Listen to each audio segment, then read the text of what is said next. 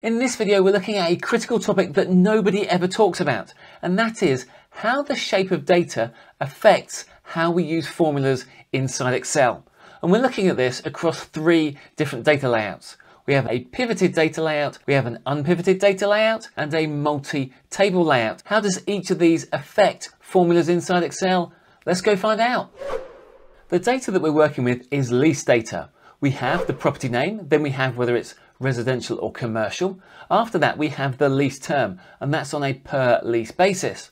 After that, we have the lease payments per year, and that is on a different level of granularity because it's on a per lease but also a per year basis. And it's these two different levels of granularity that will cause us our biggest issues.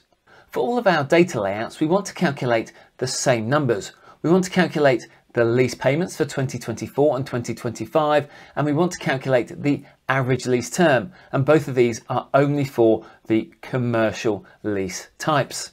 Now, because this video is about comparing data structures, we're going to try and use a consistent set of formulas throughout. So we might use filter and sum rather than a sum ifs, but that's why, because we want to try and be consistent in the approach that we take. We also have a rule, and that rule is that we need to create formulas that whenever we add new data for years or new leases, that that formula will still work. Okay, let's go and head over and look at our first data structure. The first data layout is pivoted. That means that we have a category horizontally across the top. Now this layout gives us a challenge because it means we can't select any specific column inside our table. To do so, we'd hard code those specific years. So let's go and see how we can do this. Our first calculation is going to be the total lease payments for 2024 and 2025. Now we need to start by finding out which years are 2024 or 2025. So we're going to check where our header row is bigger than or equal to our value in cell D20. When we press return on that, you can see every single item says true, but that's not true. And this is because the header row of a table is always text, but our value in D20 is a number. Therefore, we need to convert that header row into a number. For that, we're going to add minus minus onto the start of our reference. You can now see that we get trues and falses, but also hash value. That occurs where our header row is a text value because we can't times that by minus one and then minus one because it's text. So what we need to do is to add an if error. If error, open bracket, and then if there is an error, we can return false. We'll close that bracket and press return. So we now get trues and falses. Right, now let's go and add our second condition, which is where it's less than or equal to 2025. So for this, we're going to copy our previous formula. We'll add some brackets to make sure that this evaluates correctly. We'll then paste our formula and we want this where it's less than or equal to D21. So now we get ones and zeros where those values definitely match. Okay, next we now want to wrap this in a filter function because we want to filter our entire table where our column is 2024 or 2025 and then we can close that bracket. So that now gives us all of those values but we only want it where it is commercial. So let's add in another filter function. Filter, open bracket. So we want to filter on that previous return value, but we only want that where our type is equal to our value in cell D23. We can now close that bracket and now we only get the ones which are the right year and also the right lease type. And finally, we can now wrap this in the sum function. And that is the value that we want. So by working with pivoted data, it can be quite difficult. The formulas we have to use can be quite advanced. Now let's go and have a look at the average lease term. Well, that's much easier. Equals average of our filter. And we want to filter our lease years where our type is equal to commercial. So we'll close the filter, close the average, and there we go. We've now calculated the right number. Okay, let's go and add this onto our score chart. To sum on the pivoted data by column was actually quite tricky because we wanted to make sure that the data would expand. But to calculate on that lease term, that was quite simple. So let's give this overall data structure a 4 out of 10. Our second data structure is unpivoted. Now because we have a single table and our data is now on a lease and year basis, that means we've had to duplicate our lease term. So let's see how this impacts our calculations.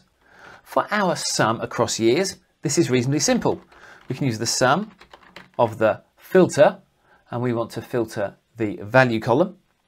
And we want that where our open bracket year is bigger than or equal to 2024 and then we also want that where that same year is less than or equal to 2025 and we also want that where the type is equal to commercial.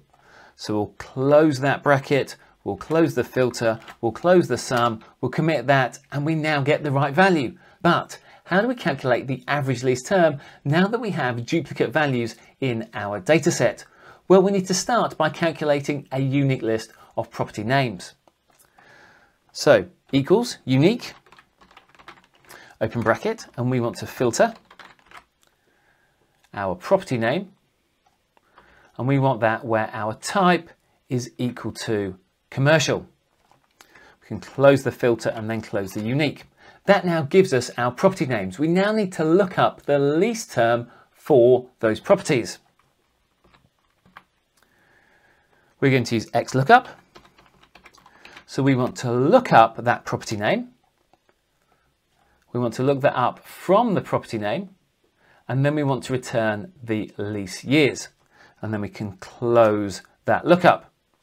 And then we'll press return. So that now just gives us the years for our lease properties, which are equal to commercial. And then finally, we can then add the average calculation on that. Equals average, open bracket, and then we will close that at the end. And now that calculates the correct value for us. Right, let's go add this data structure onto our score chart. Calculating the sum of the lease payments was no problem, but it was the average that then became difficult because we had duplicate values.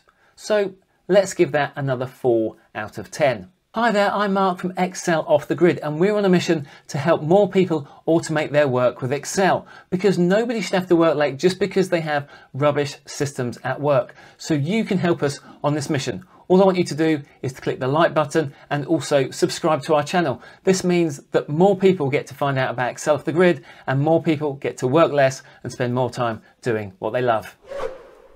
The final data structure is multi-table. We've normalized our data so that we don't have any duplicate values apart from the unique key, which is the property name which exists in both tables. But it means we have a table for the lease term and a table for the lease payments. Right, let's go and see what kind of formulas we can use on this data layout.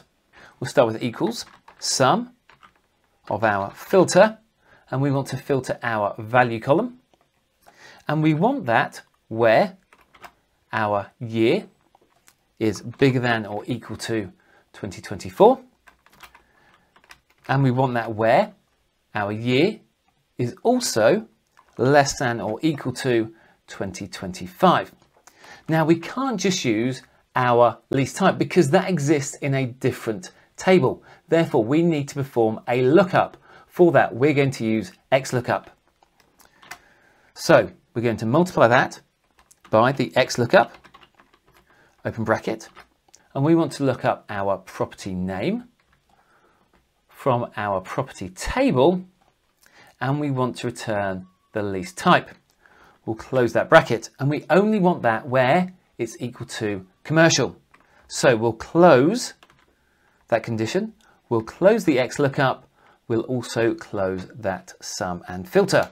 And when we commit that, we now get the correct value. Now let's go and calculate our average. Well, that is reasonably simple. Equals average of our filter, and we want the value of our lease term where our type is equal to commercial. We'll close the filter, close the average and commit that. And that now calculates the correct value as well. So both of these were reasonably simple. All we needed to do was to look up our lease payments from our other table to make sure we got the correct lease type. Right, now let's go and add these onto our score table. The sum of the lease payments was reasonably simple. All we had to do was look up our lease type and also our average was quite simple. So let's give this a score of 7 out of 10. So we can see that actually by having multiple tables where each of those tables is in a normalized structure reduces the complexity that we need to use for formulas. So does data structure matter? Yes, it does. Now you might be thinking, but we can't control the data structure. We just get the values that we get and then we use them. Well, that's where Power Query comes in. That's the tool that helps us shape data to be exactly the shape that we want so we can easily perform calculations inside Excel. And that's it. In this video, we've seen that data structure really matters even on a simple data set. So next time that you receive some data from someone, think about, is this in the right format for me to easily calculate on it? And then fire up Power Query so you can get it into the ideal format. Thanks for watching. I hope you enjoyed it. Now it's time to click there so you can watch some more Excel goodness.